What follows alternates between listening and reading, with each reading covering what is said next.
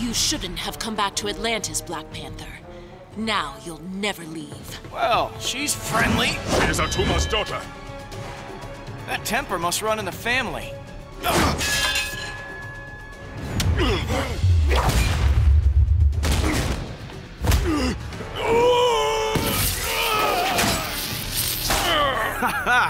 Look at that. We don't make such a bad team after all. Orca, come in.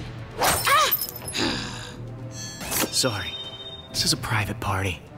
Lay your hand on me again, and you will not like the result.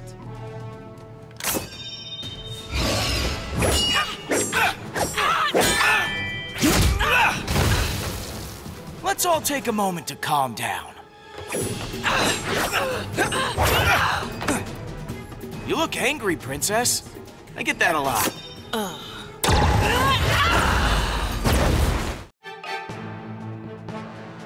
For more legendary Marvel videos, click the subscribe button.